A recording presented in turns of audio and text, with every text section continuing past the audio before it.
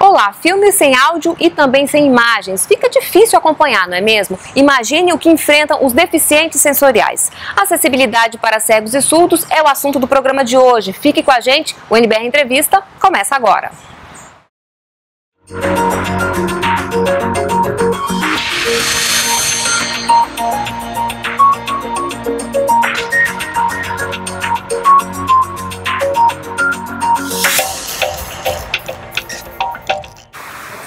Nossa convidada é Soraya Ferreira Alves, ela é audiodescritora e professora adjunta da Universidade de Brasília. Olá, muito obrigada pela sua presença. Olá, eu que agradeço a oportunidade de estar aqui para falar desse assunto tão importante e atual. Antes da nossa conversa, vamos assistir a uma reportagem da Rede Minas sobre teatro acessível para cegos e surdos. Os desafios para as pessoas com deficiência são incontáveis. Para ter acesso à cultura não é diferente. A Laís é atriz e sabe bem como é. Para ela, ser surda não é interpretar um personagem, é a vida real. É bem difícil, muito difícil, porque falta bastante informação. Em relação às apresentações, o surdo quer, mas ele percebe que não tem esse espaço, não tem essa informação. Para o surdo não tem nada. É bem sério isso, porque às vezes, quando tem o teste, há acessibilidade. Mas quando o surdo vai, quer ir ao teatro, ele paga para assistir alguma peça que está sendo apresentada ali. Ou um filme mesmo, por exemplo, a questão da legenda. Não tem a legenda ali para o surdo ir. Ele paga, mas não tem a comunicação, a acessibilidade para ele. E como deve ser para uma pessoa com deficiência visual apreciar as manifestações culturais? Juarez não enxerga desde os 15 anos e, desde então, luta para que a cultura seja enxergada de todas as formas. O acesso do deficiente visual à cultura ele não é facilitado ainda, muito pouco. Por quê?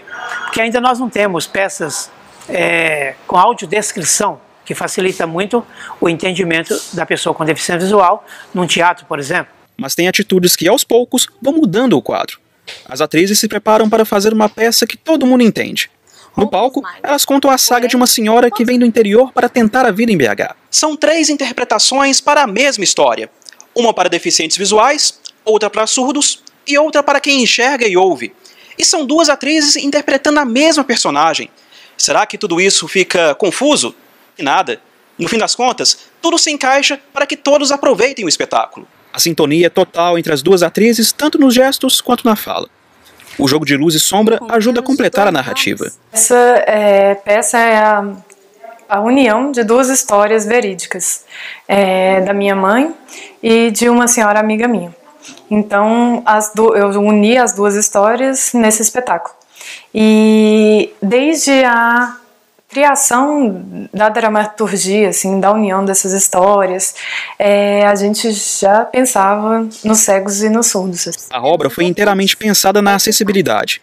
Inclusive, as próprias pessoas com deficiência ajudaram a construir o projeto foi muito bacana, assim, sem a participação desse público nos ensaios abertos, não seria possível montar a peça, pois a peça é para eles e a gente precisava ter esse retorno para saber se a nossa mensagem estava chegando da forma que a gente queria que chegasse, que eles realmente é, tivessem acesso a uma história completa com início, meio e fim.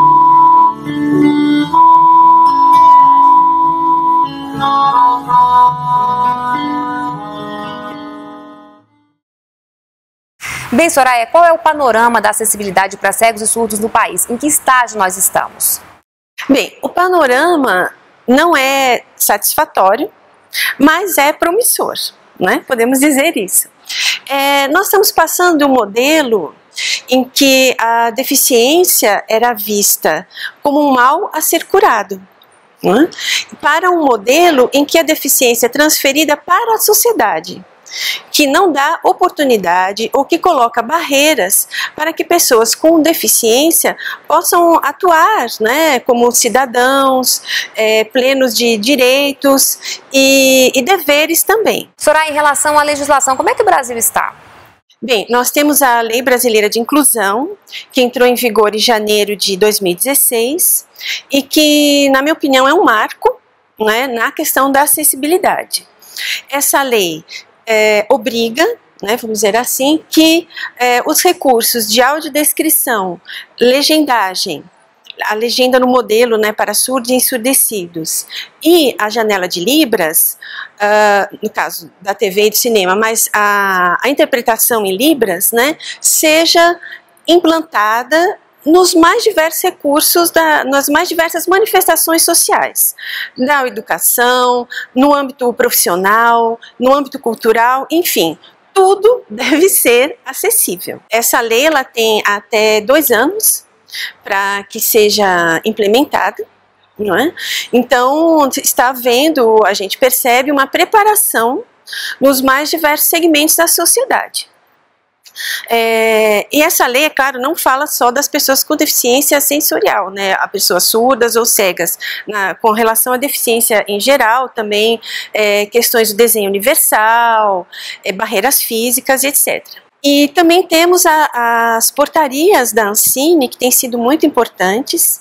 A primeira, que foi regulamentando que todas as produções patrocinadas por órgãos do governo tenham tem que entregar uma cópia com os recursos, os as três modalidades né, de acessibilidade, a descrição, a janela de interpretação e libras e a legenda. E isso já foi um avanço, não é? E também agora a portaria mais recente, que de, de outubro de 2016, que vai é, regulamentar a exibição, o polo exibidor brasileiro. Bom, você citou aí a legenda, você citou aí a audiodescrição. Eu queria que você falasse um pouquinho, detalhasse um pouquinho essas ferramentas né, de acessibilidade para cegos e surdos. A audiodescrição, ela, no caso do cinema, né, vou dizer cinema, teatro, ela é uma narração adicional né, à, à peça cultural que é, descreve as ações dos personagens, né? descreve a, como são esses personagens, né, como é o figurino, a compreensão física, descreve também todo o cenário, é, as trocas de cenário, enfim, uh, tudo para que a pessoa com deficiência visual possa ter uma fruição estética né, e compreender é, toda a, a narrativa. Uh, muitos exercícios que eu faço né, em palestras ou com os alunos é passar um trecho de um filme, uma longa cena sem som. E perguntar o que se passou nessa cena. São cenas muito importantes, né? Que vão dar muita informação sobre o cenário, sobre os personagens e com ações, e só depois você tem um diálogo. Então, como é que você faz com que a pessoa que não está enxergando compreenda esse material, né? Isso é muito difícil. Isso causa um impacto. Muitas vezes a gente não pensa como esses recursos são fundamentais né, para é, que essas pessoas possam ter o acesso e ter uma experiência artística, uma experiência estética satisfatória. Né? A legenda para é, no modelo surdos ensurdecidos, ou que chama é, o que se chama de legenda descritiva nos editais, não é? É uma legenda que é, inclui o falante e os efeitos sonoros. E a janela de interpretação de Libras é aquela janela que fica geralmente do lado direito da tela, né? desculpa, do lado esquerdo da tela, né? o direito nosso. E ela tem um padrão já da ABNT, que deve ser é, também seguido, mas a gente nem vê que sempre, que nem sempre esse modelo é seguido, mas é bastante testado, né? e que vai também não só é, traduzindo, vamos dizer assim, literalmente os, os diálogos, né? Mas toda a ambientação também, a posição dos personagens, né? É um trabalho bastante interessante, principalmente na, nessa questão artística. E como é que é a demanda pela acessibilidade? Olha, hoje a gente percebe que ah, as pessoas estão né, tendo mais consciência e demandando por esses, por esses recursos. Ah, mas também é, editais de fundos de apoio à cultura, tanto do cinema, quanto à, televisão, quanto ao teatro, né? enfim, manifestações culturais no geral, já é, incluem a obrigatoriedade dos, dos recursos. Né? Então as pessoas também que estão pleiteando por esses, por esses é, recursos dos fundos de apoio também tem que ter a conscientização. Só que tem um, ainda uma falta de informação, eu percebo, né? Muita gente me procura, por exemplo, do teatro. Ah, vamos fazer audiodescrição, mas para amanhã. não é assim, né? Falta informação. Para você fazer cinema, teatro, você precisa de você precisa fazer o roteiro, você precisa assistir os ensaios, você precisa conversar com o diretor, você precisa ver o figurino, tudo isso tem que ter um roteiro muito bem preparado, né? E a gente também é, tem que ensaiar, a gente praticamente decora a peça e o roteiro, todas as entradas, porque você chega lá na hora e tem que descrever um filme ou uma peça, você não vai estar contribuindo para a compreensão dela, para nem, nem só para a compreensão, mas para que a pessoa tenha essa experiência estética como, a, como os outros, né? as pessoas que enxergam, as pessoas que ouvem. Então não é assim. Né? Então tem que ter uma conscientização, uma conscientização melhor sobre como são esses recursos, como eles são feitos, né? E eu acho que isso ainda carece de uma maior atenção. Bom, como é que a formação desses profissionais, em média, leva quanto tempo, né, para formar um profissional qualificado, enfim, é, qual o perfil, né, dessa pessoa, enfim, desse profissional que vai ser um audiodescritor, vai ser um intérprete de libras, queria que você comentasse um pouquinho. Bom, o perfil é, são de pessoas que têm um bom conhecimento da língua portuguesa, né, isso é necessário. Na universidade, a gente é, está implementando disciplinas. Hoje nós já temos disciplinas nos cursos de tradução e línguas estrangeiras aplicadas que falam sobre a audiodescrição, a janela de interpretação em Libras e a legenda. Mas é, uma disciplina só não dá formação geral, é mais uma conscientização, um estudo acadêmico. Uh, é necessário que tenha um treinamento além das disciplinas da graduação, como está sendo feito hoje. É, houve já no Brasil, na, na, Universidade de Juiz de Fora, o curso, o primeiro curso de especialização em audiodescrição, né, que foi também patrocinado pela Secretaria de Direitos Humanos e já formou é, vários audiodescritores nas mais diversas modalidades. Nas as universidades também têm tentado, além das disciplinas, é, em cursos de extensão. Nós, por exemplo, na UNB temos um, um grupo de extensão desde 2010, com, com, encontros semanais e também com ações voltadas para a sociedade. E com isso a gente forma os alunos para audiodescrição de cinema, teatro, exposições. Tá certo, então daqui a pouco a gente continua. Vamos agora a um rápido intervalo. Até já.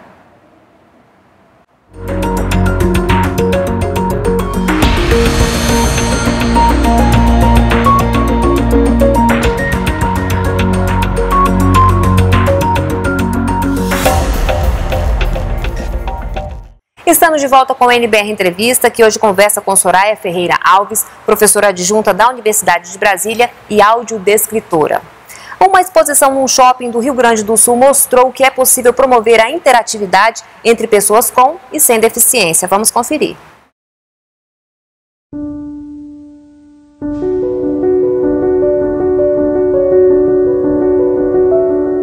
Esse trabalho é um trabalho que a fotografia é um pretexto.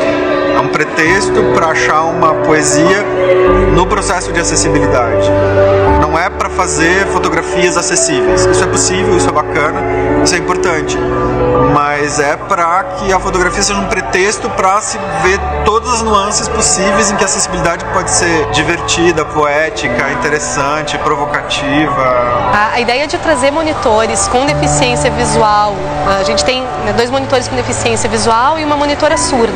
E essa proposta de trazer uh, essas pessoas para trabalhar com a gente está tá relacionada de maneira muito íntima com a própria proposta da exposição. Né? A gente está propondo uma exposição uh, que discuta diferentes maneiras de ver. A ideia da exposição como foi concebida é exatamente mostrar que nós não somos totalmente autossuficientes em tudo, independente de ter ou não uma deficiência. Eu estava observando enquanto eu participava da exposição agora, ela pronta, concebida, a reação das pessoas sem nenhuma deficiência ao dar-se conta de que sem o auxílio ou sem o monitoramento de uma das pessoas com deficiência que ajudou na concepção do processo, não conseguiriam entender plenamente uh, aquilo que está proposto. E aí começa a construir a troca entre pessoas com deficiência e pessoas sem nenhuma deficiência naquilo que, que cada um tem de fragilidade e de potencialidade. E nós, pessoas com deficiência, nessa exposição, estamos é, nos colocando à disposição para quem não tem deficiência a auxiliar a ver o mundo como nós vemos.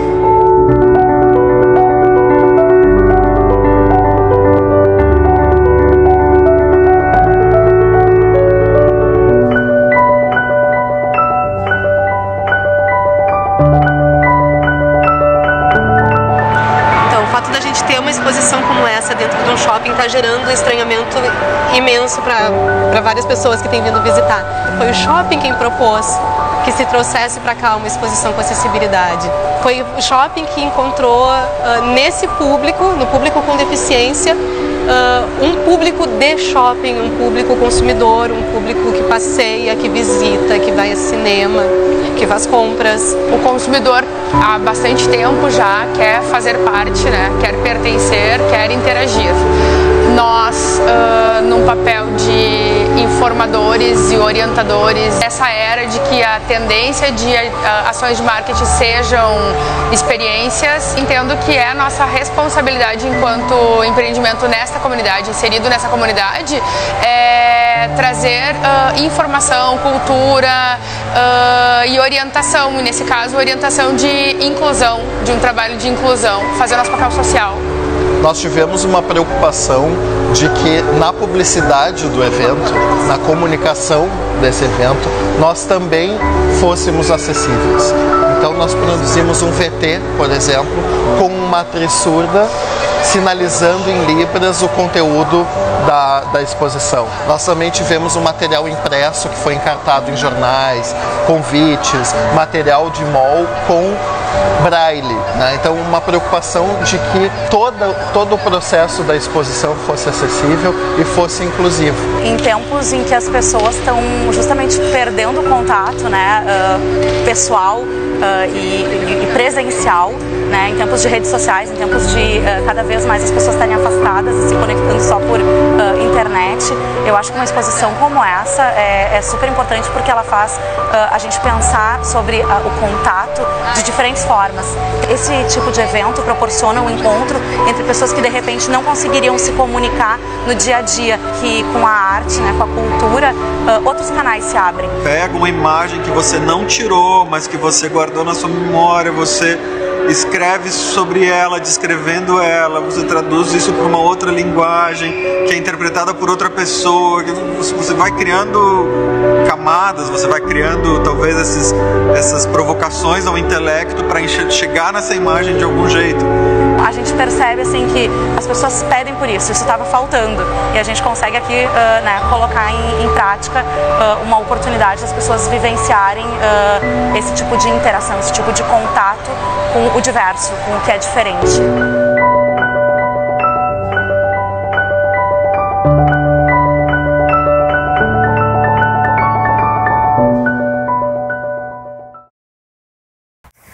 Bem, essa é uma iniciativa muito bacana porque faz com que a gente se coloque no lugar do outro, né, professora? Sem dúvida. E isso é fundamental, eu acho que nas relações sociais, a gente se colocar no lugar do outro. Nós vivemos hoje numa sociedade em que as pessoas não pensam que em algum momento de suas vidas elas poderão ter um tipo de deficiência, seja devido a algum acidente ou mesmo por causa da idade. Né? Muitas pessoas vão perdendo a visão ou vão perdendo a audição e não encaram isso como uma parte da vida. Não é? E isso é de extrema importância. Uma outra coisa que a gente percebe nesse sentido é que ainda há muita resistência né, quanto aos recursos de acessibilidade. as pessoas não quererem ir ao cinema porque vai se vai haver legenda ou vai haver janela de libras. É, e mesmo essa resistência vindo de diretores, vindo de produtores, não é, que acham que aquilo vai estragar a sua produção. No teatro, é, por exemplo, acham que a pessoa, o intérprete de libras no palco, afeta e destrói o espetáculo.